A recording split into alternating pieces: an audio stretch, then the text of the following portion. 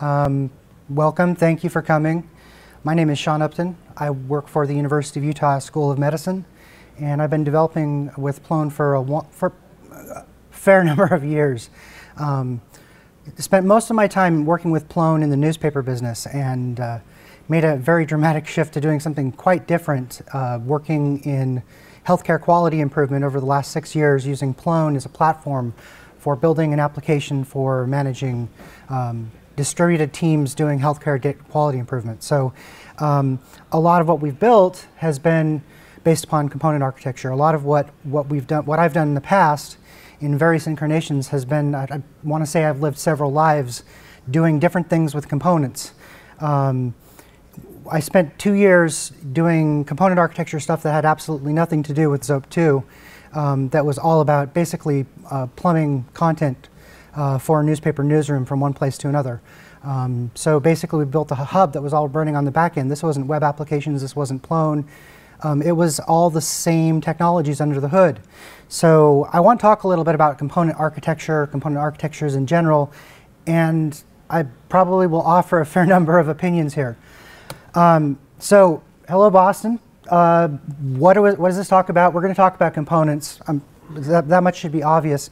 Um, should talk about Plone, APIs, food, um, some or all of these things. Um, there'll be lots of food puns, um, and there may be a few uh, jokes as well that are unrelated. But um, the topic in general, let's talk about components.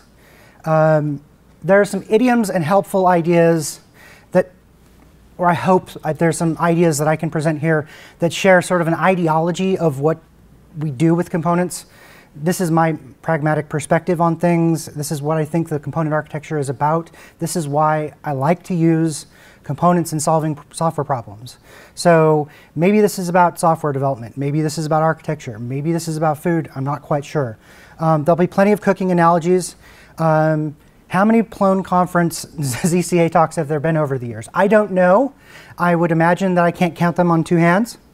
Um, so what you're going to get from me might be some perspective. It might be opinion. You can call it what you want. Um, there may be some JavaScript involved. And if you don't like what I have to say, run while you can. The door is open. Um, so this is an old hat topic, but I, my argument is, hey, you know, the, some folks might say, we've been talking about this for 15 years. Um, but these things have durability, and I think the old hat beats the new hat. I mean, surely, you, know, everyone who's seen Indiana Jones knows that Indiana Jones hates the fascists. So we have some durability here. We have something that, that can stick, and it's not like something that's going to rot in the fridge. So our old hat is 1.5 decades old. It's sturdy. It's something that we've depended upon. And it really, if you look at the ZCA, at the ZOPE component architecture itself, hasn't really changed that much in that uh, decade and a half. There are things that are new that are rotting in the fridge. Just look at the JavaScript framework world to get an idea of how like things change so quickly. You know, I, ha I have cilantro that rotted in my produce drawer. And this is something that's durable, that's sitting in the pantry, that's always available to me. Um, so I'm talking about craftsmanship. I'm thinking about food. This is also Boston is the home of a public television show, This Old House, where they focus a lot on, uh, you know, the craft of building things. So there's also a lot of American food media here, uh, here in Boston, or either rooted in Boston. Um, so plan for a lot of kitchen metaphors sprinkled throughout the discussion. You, I hope you can see what I did there. um, components are a very relevant part of our craft. And they're even relevant in the time where we have simplified APIs. I'll make some arguments to that effect. Agree or disagree, we'll talk about it. Um, the goals here, I want to talk about components in, the, in Python. I want to talk about it in Plone, and I also want to look at it sort of in the context of foreign cuisine, and in that sense I mean JavaScript. I've taken a lot of the idioms that I've felt are appropriate, not everything, but things that I've found in the component architecture on the server side and transformed them when I'm working on things in the client side. So aside from all the complexities of the JavaScript world, you can still rely upon some of these comforts of the way that you solve some of these software architecture problems by using components, or at least some of the ideas that we have in component architecture. So we'll talk about some of those idioms. We'll talk about um, why this matters, or at least why I think it matters to me. This is subjective. Um, I'm not preaching truth here. Um, and we'll also try to get through and, and discuss a few uh, workarounds in terms of debugging uh, component registrations. Um, we have a large push in the last few years for simplified APIs. We have an interesting push to try to make Plone easier to digest and more accessible for a large number of people of various capabilities. And I want to make the case that there is not necessarily an either or between using something like Plone.api and using the component architecture itself. If you are an add-on developer, if you're developing for the core, you can probably mix those things and we shouldn't necessarily have fear of one, one approach or the other. They're somewhat, um, they're orthogonal to each other to some degree.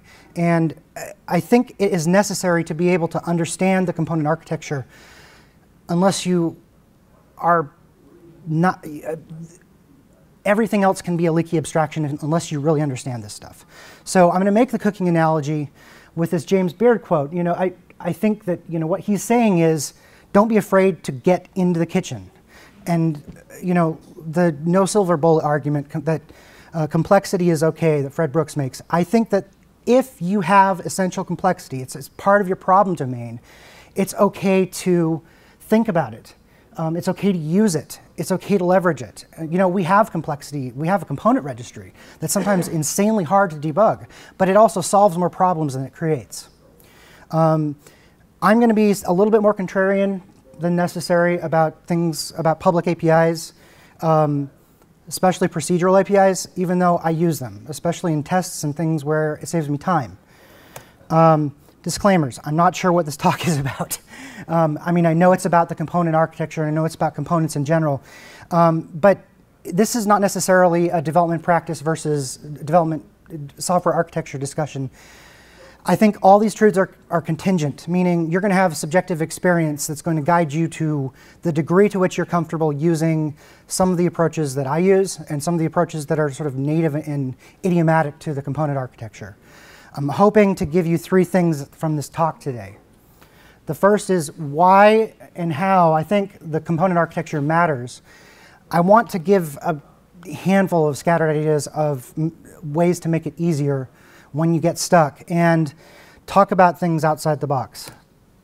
Um, brief history, my first recollection of talking about components and this big shift from my previous Zope experience was uh, a Birds of a Feather session at OSCON that Jim Fulton was talking about something that just, this sounded way different than what I was, what is really thinking about in terms of object-oriented development, object publishing, and the way that we've thought about Zope 2 in you know, the, the early 2000s, very, very different.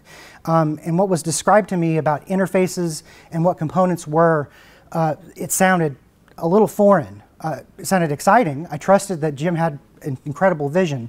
Um, but the motivation, if you want to look at any piece of Zope 2 code and find the motivation, look at something like OF, the OFS uh, package in Zope 2. Look at the sheer number of mixins that are required for, say, Object Manager, which is what the basis of, of Plone folders is. Um, that learning curve requires you, the, the, typical mailing list response in, in that era was read the source. Okay, yeah, well, we'll do that.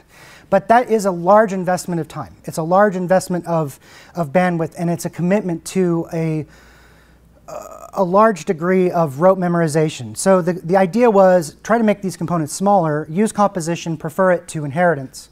These are not, these are patterns that came from places that um, this is not something that we invented, we as a community invented, but Jim was wanting to apply these ideas to, to Zope. And I think that that was a very nice um, way of reconceptualizing what we're doing. Of course, what happened was Zope 3, um, which was the idea that we're going to toss everything and reinvent an entire application server framework. And I don't think that necessarily um, solved the problem um, because it created additional complexity. But what we did as a community, and I mean that in a very large sense, I mean that for Plone folks, for Zope folks, for people who are in the Python community at large who use parts of this, was absorb the community, uh, absorbed the complexity that worked for them. And so we have the ZCA, we have some components of the, of the Zope toolkit inside um, what we have. So we went from bigger parts to smaller, you know, pick what we want. We're not taking the whole soup pot of Zope 3. Um, this is a buffet style approach to looking at development. There's a, there's a cost to this, and that's there's a large number of packages in, in terms of the package distributions in your eggs folder in your Plone distribu- in your Plone build out is it's very large, but these are all digestible pieces. And so the learning curve is broad, not deep. That's a trade-off. I think that it's a worthwhile trade-off. And it's really what, you know, eat what you want. Um, so Twisted, for example, uses Zope interface, and they use it um, in spite of the fact that there are alternatives that they could consider using, like uh, Python abstract base classes. Um, the holy trinity of components. This is, you know, somebody might say, hey, you know, components are all about adapters and utilities, and, and that's really, from my standpoint, the way I approach things is I'm looking at schema and adapters and resources. I'm looking at schema first. I'm always looking at the state of content first. I'm not looking at necessarily action-based behaviors. I'm not looking at this from what should happen from an imperative standpoint. I like to think declaratively. But that context, if you look at adapters, we have you know, single context adapters that do one thing with one context, usually content, might be something else like a site. We have views that have multiple contexts. So, so a view is an simplest example of multi-adapter. It adapts two things, content and a request. It's brilliant. It's, in my opinion, much more sophisticated and natural than what views are in most other Python frameworks, which are simply endpoints to routes um, there's no context involved. And so um, adapters are, are, are, a really interesting thing, and the way that we do them seems really nice. Um, synchronous event subscribers are a, a type of adapter. Um, resources, I think about things in broad context, content, utilities, request response. These are things that typically have some kind of state. So a request has state like form variables, cookies. Um, we do things with content has state you know, fields, for example. Um, utilities might, have, might or might not have state depending upon what kind of utility it is. That state may come from the file system, for example, configuration that's global, or it might come from the site, um, from like a registry or some, something like that. Um, schema is the first thing I write when I write applications. Um, and the reason why is because I think in terms of nouns and not in terms of verbs. I think that when you have a content management system, you're brain eventually gets trained to think that way. Um, so when I categorize objects, I, am thinking about this this way. There are two broad categories of objects. There's those that you look up, and there are those that you don't. And when I mean look up, we, we've done this before. We have object publishing. We've, we've looked up components by path. We've done this from the beginning. That's what Zope has done um, and what Plone has done before there was any component architecture. Um, Doing the same thing by component registry is a different way of looking up. Um, you could say, hey, it's, it's more flat, it's solving a different problem. Um, or you might do something like looking up something by traversal and a component registry, which is what views are doing. Um, there's certain kinds of objects that you don't need to look up, but they're a minority. Things like request objects, they're in the service of a lookup, but they're not necessarily uh, looked up themselves. They're just created on the fly. Um, so we have indirection, and I think that's okay. And when I mean we have indirection everywhere, what I mean is we have this component registry that you look in in terms of the number of, of different possible adapter registrations in a Plone site for certain interfaces like widgets, for example, you can start looking into the number, the, the number goes into the hundreds. So if you're in a, in a PDB session and you're trying to go through and figure out exactly what it is why it is that your widget is not overriding the default, um, you might be actually looking at hundreds of registrations, in, and, and that can be scary for some folks who want everything to be explicit and hard-coded. Um, I work with a Java programmer uh, who has that, that philosophy, and I, you know, I don't blame him because you, sometimes it is a little bit scary. Um, but my argument is we get something out of that. Even though you'll eventually end up in the debugger, we we get flexibility. We have consistent idioms. We have the ability to do the same thing. We have the ability to have things be pluggable. We have the ability to have contracts with interfaces. And we have the ability to work together. If software is social, those interfaces are contracts for folks who write add-ons to write something that we didn't anticipate.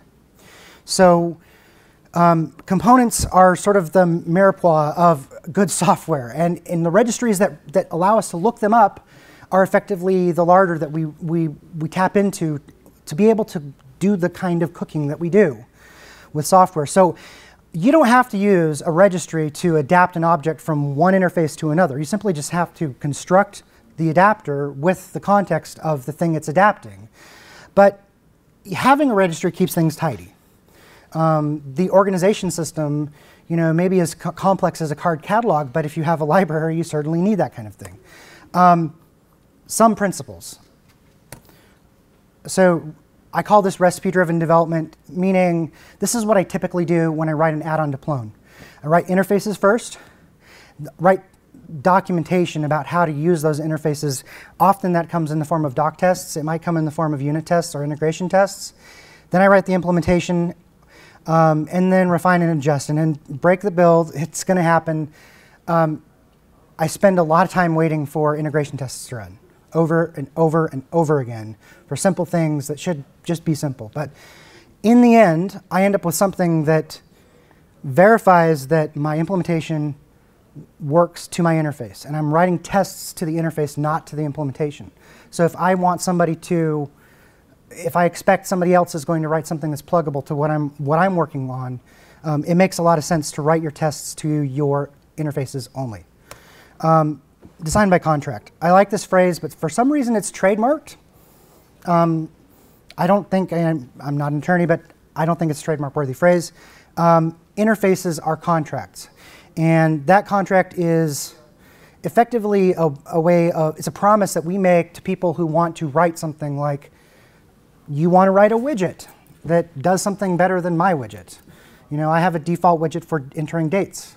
You might want something else. Um, and so the interface is the contract for that. Um, we can use multiple implementations to fulfill those contracts. We can register things that override a default. We can plug things in. This is a good thing for widgets, for various kinds of separation of concerns, for testing. These are all things that I think are useful. Um, this is a corollary to writing components, and that is we have idioms from our platform, we also have idioms from our language.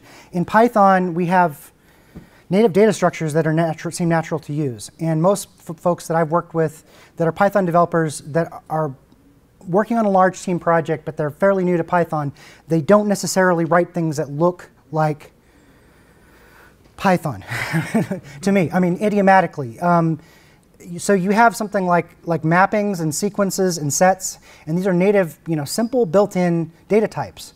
Um, we do very similar things with B trees and with persistent lists and other things that we use in the ZODB, but, but in, in the end, you want to make components that look like those things.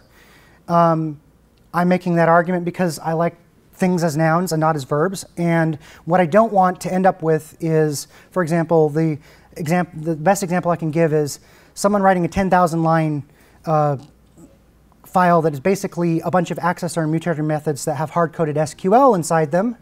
So because everybody's thinking that you know the model isn't the thing, the controller is the thing. We put the M as a very capitalized thing in MVC and not necessarily looking at things from a procedural standpoint. So developing things with a resource-centric perspective. Um, and what I mean is that we're dri driving things by state, not by action. So things are placeful, meaning we might have a path to get to a folder, um, and that folder has a specific contracted interface. So we say the folder is the responsible party for adding things to itself. Um, Plone.api may have a different opinion on that. That's okay. Um, but from my perspective, we're doing things in a resource-centric way.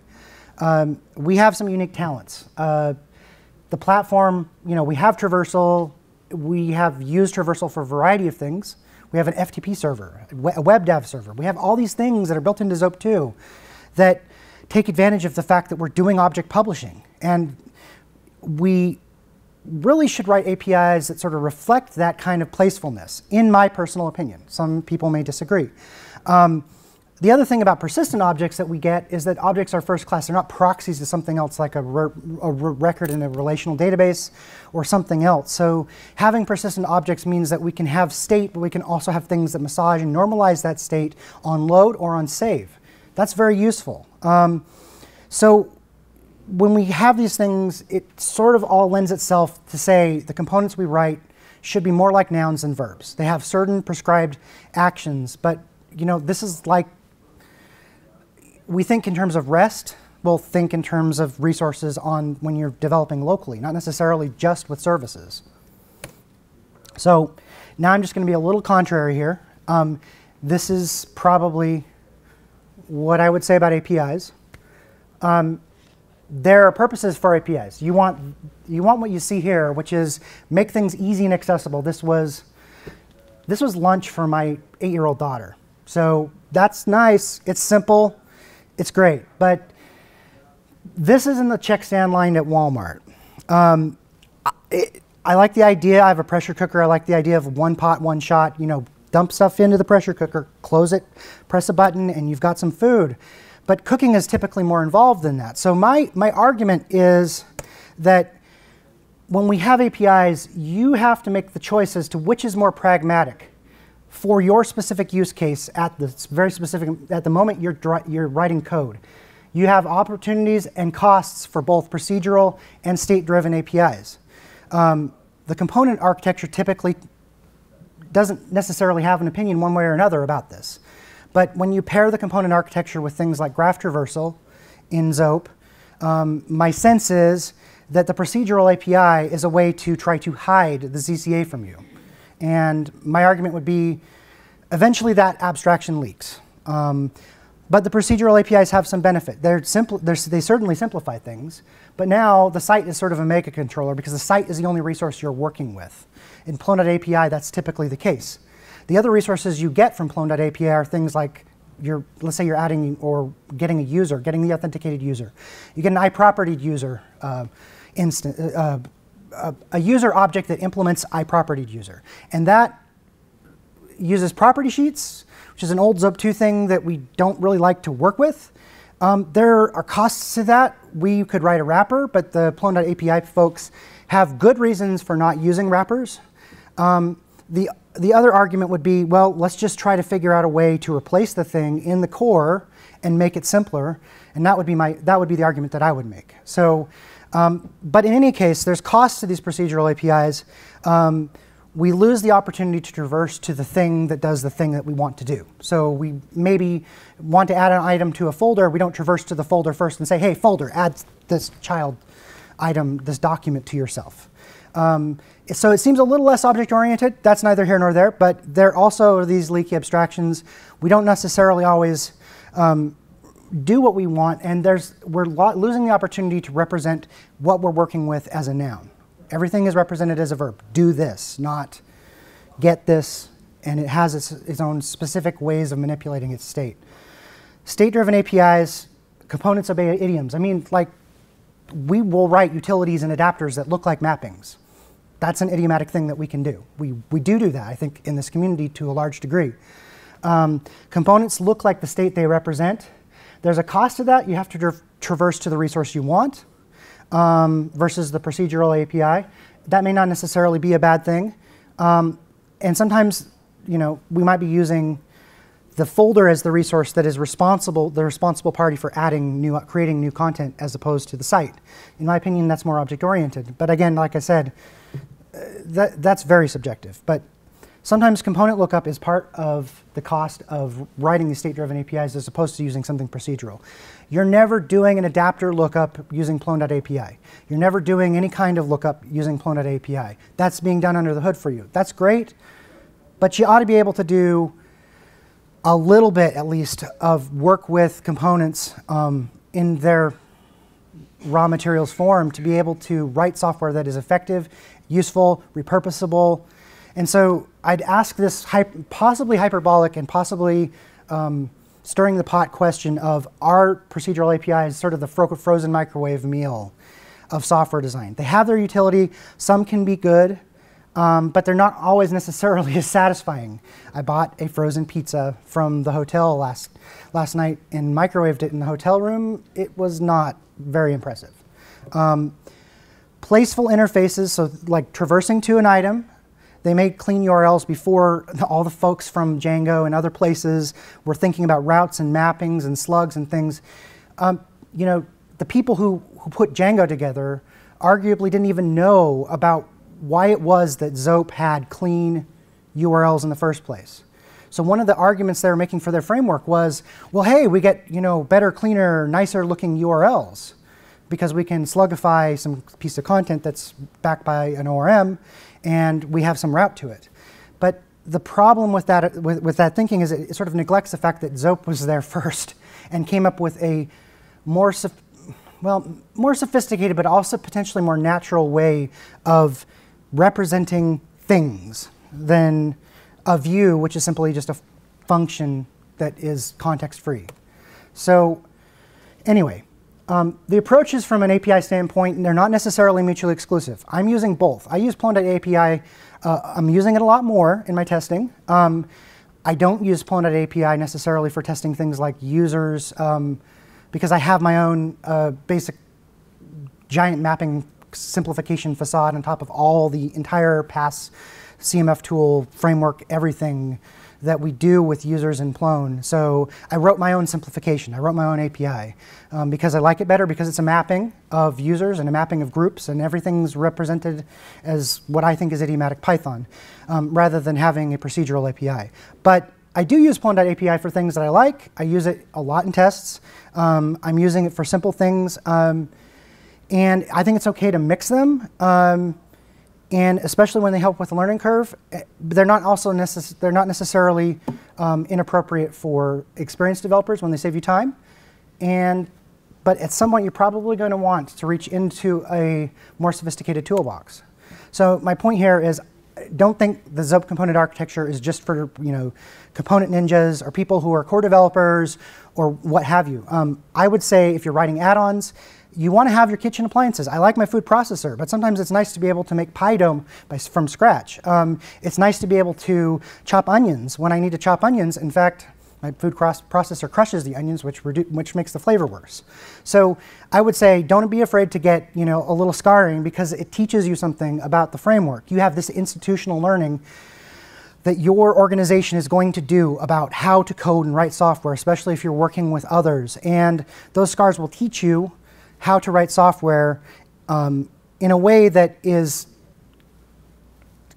helpful in, in, in terms of like contract. Um, so I'm not going to judge if anyone wants to use simplified APIs. I'm using them myself. I even bought a frozen chicken tikka meal from Trader Joe's last week. Um, but I like to cook. So I make my own compromises, and I think you should too. So I, I have a pressure cooker. I make my own stock, um, but I don't grind my own sausage because and, and the, my reasoning is actually quite simple. It's, it's easier to clean up.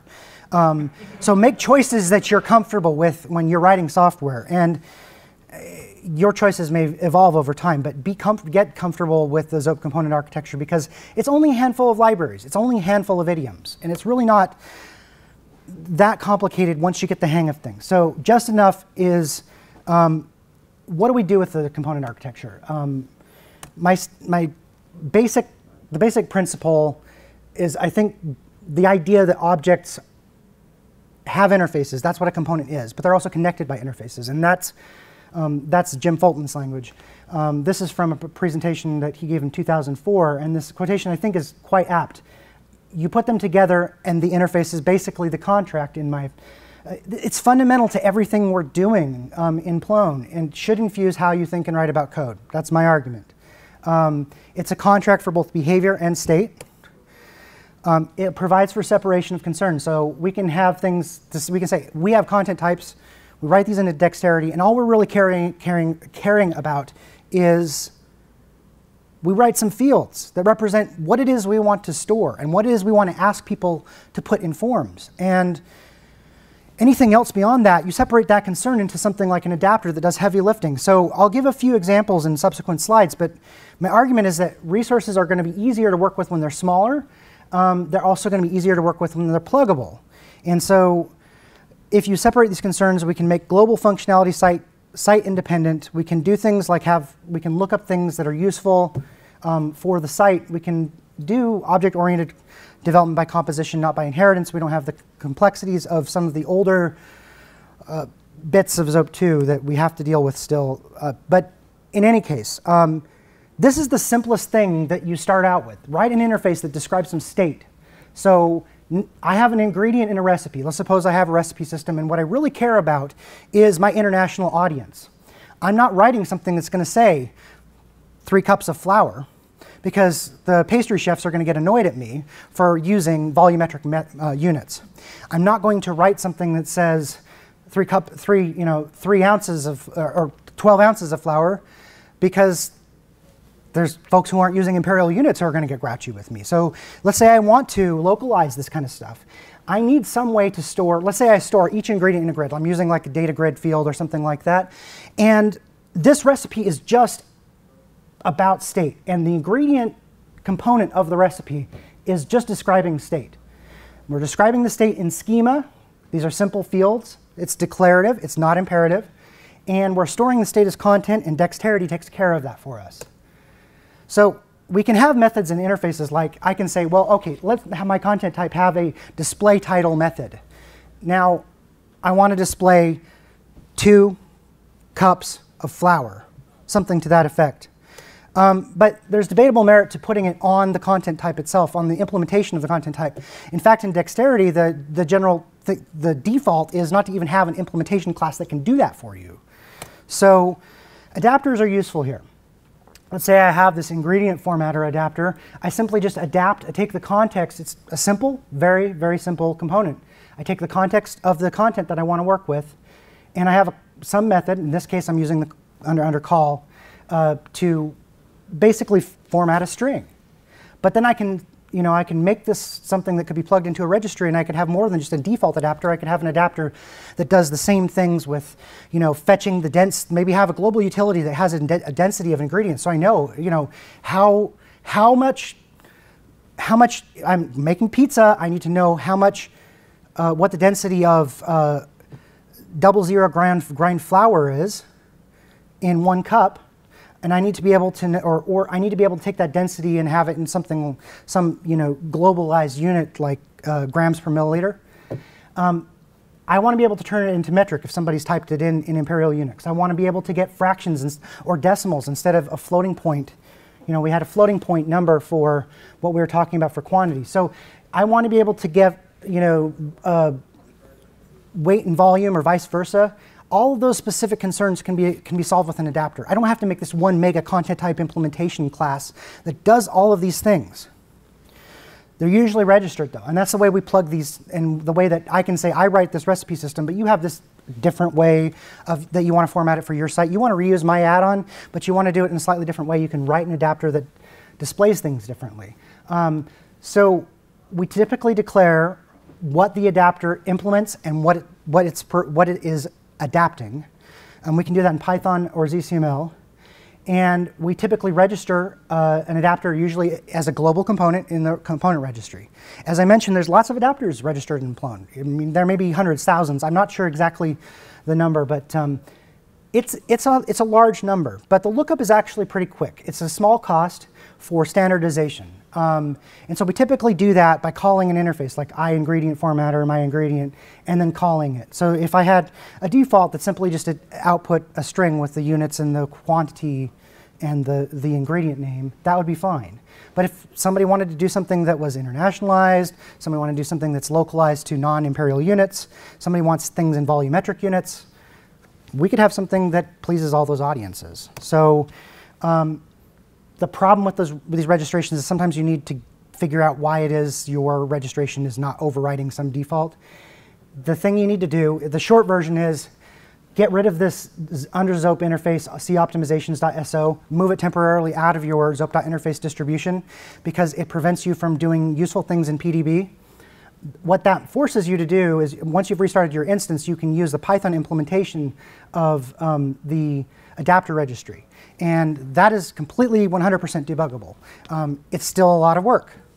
I promise you. Get lots of coffee, it's going to be some work. But once you figure things out, you can do things like be more specific about like subclass. For example, using a browser, we use a browser layer interface to be able to say, you have more specificity in terms of subclassing so we know that our, our specific date widget adapter wins. You know, that's basically the way that we've done, we've solved some problems by saying, you know, we need to make our adapter registr registration more specific than the default adapter registration. That way, in all cases, we get the right widget. Um, but I had to figure that out by going through, you know, three hours of PDB hell. It, it happens. It's something that you occasionally have to do. But it's a small cost, it's infrequent, it's something that is worthwhile. If you get stuck, you can do it um, if you're comfortable with PDB. Um, browser views. I think this is great. Um, other frameworks see views as like functions, basically endpoints to URLs, the routes mapped to the views. We don't do that here. We think about views uh, as completely about context. We're taking a view that is, view is about the content that we're adapting and the request that it's adapting. We're taking a resource and a request. It's placeful, it's graceful, and it's all about the content. It's not about, it's not like capitalizing the C in MVC. You know, so we're not making the view simply just some kind of, you know, glue.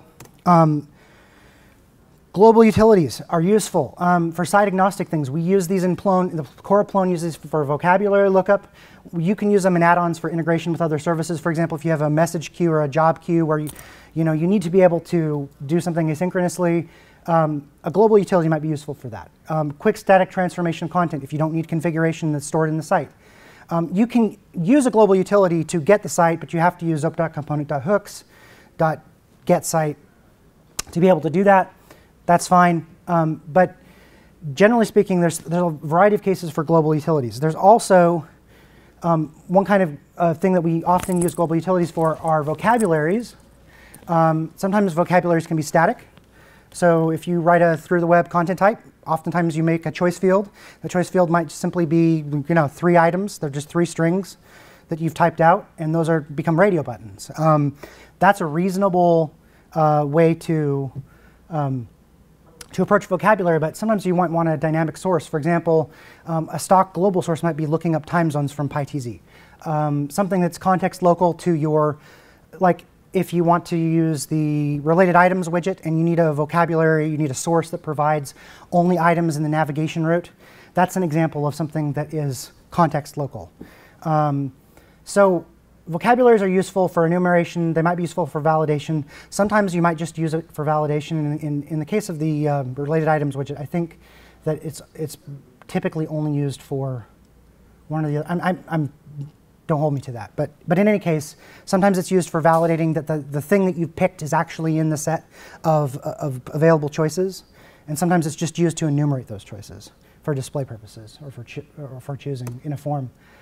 Um, four possible approaches to getting some kind of site global service functionality. Um, back in the beginning of the early Zope component days, um, there was some difference between something called a service and something called a utility. Um, and those differences were very soon realized um, that there was just unnecessary complexity. So um, from my perspective, there's four ways that you can do site global stuff. Um, you can have a persistent component that is a utility um, that stores state in your site. they're a pain to, to uninstall, but you can also have an adapter of site um, and I'll talk about the differences, really quickly talk about the differences between those two approaches.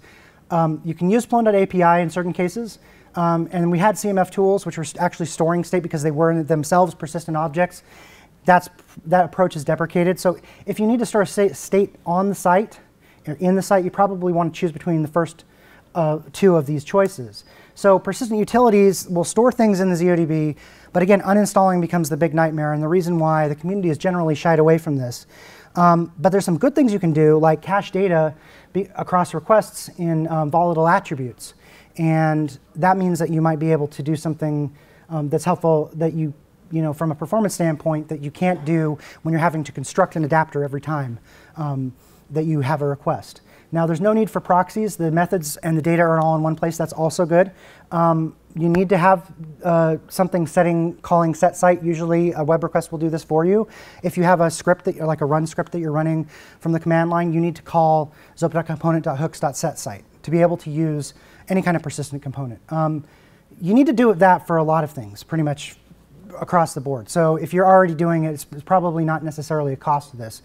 Um, uh, these things get a lot of blame. I'm not necessarily saying that they're, they're as bad as, as they've probably taken flack for. Um, the adapter of site pattern is a different approach to this, and that it needs to be something that's really, really cheap to construct. You can't take a long time for your constructor to, to run because you'll need to maybe do this more than once. You might be able to put it in an annotation on a request to be able to avoid doing it more than once um, if you're clever, but um, you don't need things like set site unless you're trying to get um, specific site state um, or you're not passing the site itself to the adapter. But in that case, because the adapter is constructed with the site as its context, it has access to the site you're working with. Um, there's no uninstallation issues if, with the with a very important caveat that you are using out of the box data structures um, inside things like annotations on the site.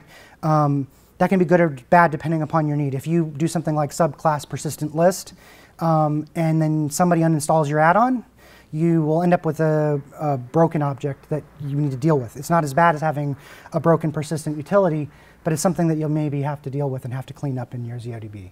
Um, related technologies, briefly, um, Martijn Faassen has a library called Reg that is ins inspired by Zope.interface and Zope.component. I don't know a lot about it. I know that it exists. It's something that you can look into. He's blogged extensively about it. Um, there is the Python's built-in abstract base classes. Um, you could call it a, a, poppers interface. I, I think there's several problems with it. I've, I could critique them. The biggest critique I have is that it doesn't describe an, it only describes is up as a possible relationship. As a relationships are not necessarily, so we think, think of things like behaviors um, in dexterity, or we even have, um, I even wrote a, a throwaway experiment to do per instance to be able to mark individual items of content to have um, specific behaviors instead of content type global behaviors. Um, and that's a plugin I wrote like four years ago called experimental.flavors. It I, probably doesn't work anymore. But my point is um, that abstract-based classes have this limitation, but there's probably a better critique that you can find on the, on the internet explaining the differences between interfaces and ABCs um, that uh, Glyph Lefkowitz has written. And I think that you, if, you, if you're curious, read it. Um, outside of the server, we can take some of the ideas that we have, put them in, take them to a JavaScript context. We recently wrote a mock-up um, widget that is extending the pickadate widget to do keyboard input. Um, but we used an adapter pattern, so we basically adapted the existing widget. We constructed it, adapted it, modified it in place. And that was easier for us to modify in an add-on. Um, that way, we're not using any kind of component registration or presumptions otherwise, but we used the adapter pattern. We said, okay, construct the basic widget, adapt it, do things to it, um, add additional, you know, so we basically had a nice clean separation of concerns where we added something. We enhanced the pickadate widget that ships with Plone 5. Um, we've also done several incarnations of Zope.schema lookalikes in JavaScript for some of the projects that I've worked on. Um, we're running out of time, so um, in, I have a link to these in the slides. The slides will be up. I'll put them on SlideShare sometime later, today or tomorrow. Um, but um, you can see, uh, you know, I can basic example. See if I can click to it. Um, try to quickly preview this. Um, uh, yeah, it's not, hold on. Firefox doesn't want to cooperate. Without me ending the, the slides, um, let me, anyway, short version, we're, we're actually planning to write a form library, a forms implementation. We do a lot with data collection um, and forms of various complexities, um, something simpler, similar to what PFG is doing, what EasyForms is doing. Um, but our internal form implementation is, is showing its age. We're actually going to be rewriting um, everything client-side. So we're going to be doing, taking basically supermodel schema and rendering forms completely in JavaScript with the payload, um, is, our, pay, our, payload is already JSON. So we're, we're actually doing something now where we're, we're generating uh, the interface on the server side, but we're sending things back in JSON. It makes sense to do it completely in JavaScript, and that's where we're going. And that probably means that we're going to leverage um, our sort of JavaScript schema lookalike um, to be able to declare fields we actually used the, the idea of, of, a, of a Zope.schema lookalike in JavaScript to write a specification for a vendor who was writing a data visualization uh, piece for us in JavaScript for D3.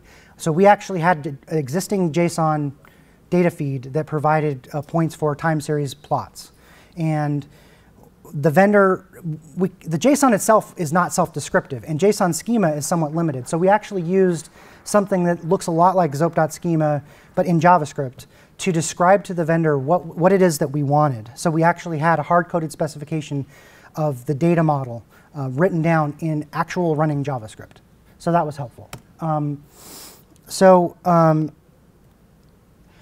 just to be clear, I'm looking at the word component. There's the word web components, the phrase coming to more coming to the fore in the JavaScript world. Um, but I'm thinking of these things because completely distinct things. They can have some overlap, but they're really not related to each other, just to be clear. Um, but we can have schema development in JavaScript.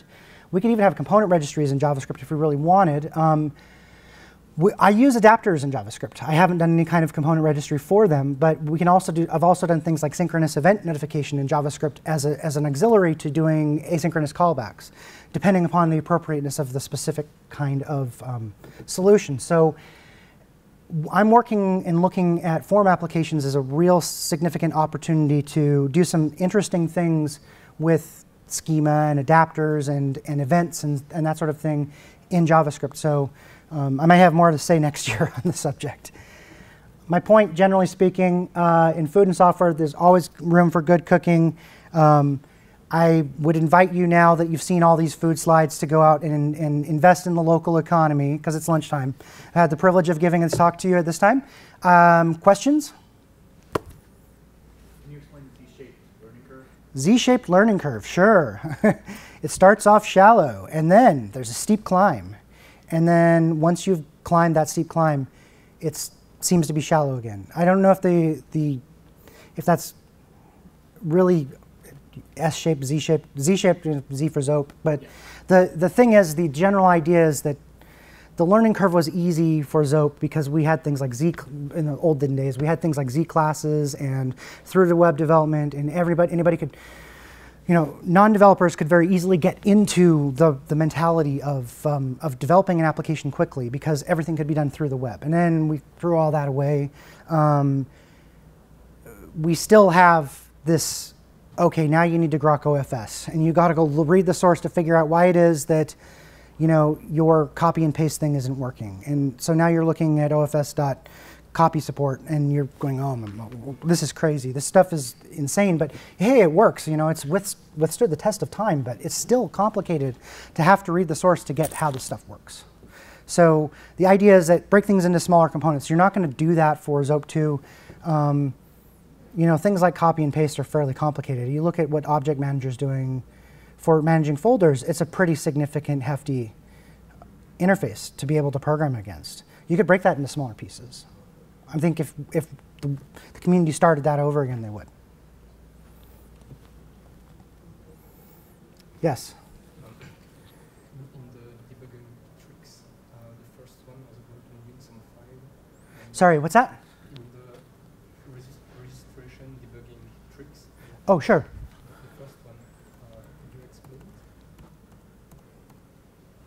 So, the yeah, so this is expensive. Looking up things are expensive. And it was thought a good idea to write it in C. So this is actually the, the lookup, the, the, the loops for the lookup um, involve uh, determining an order, which is how many how many things that the adapter is adapting. So if it's a, a view, it's adapting two things, content and uh, request. So how many how many adapters do I have in order order two? Let's let's say I have a thousand adapters that I have to, to loop through. Um, that kind of iterative thing is very expensive if you do it in pure Python.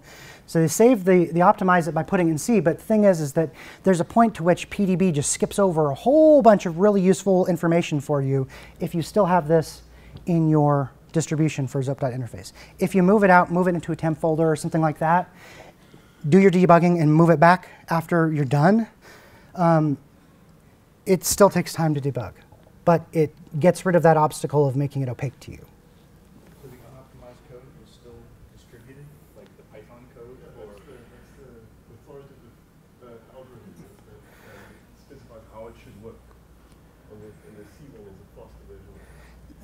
The folks who wrote it made a very good effort in, in, a lot of cases with stuff that is in Zope that was written in C to have a one-to-one functional equivalent in Python. So I can't guarantee, I don't make any guarantees that that's necessarily the case, that there's not any kind of drift that's happened, but this stuff has been living for a long time. I'd be significantly doubtful that there's any functional difference aside from speed and debuggability between the C implementation and the Python implementation. I'm a code reader, thank you. Anybody else? Thanks again. It's lunchtime.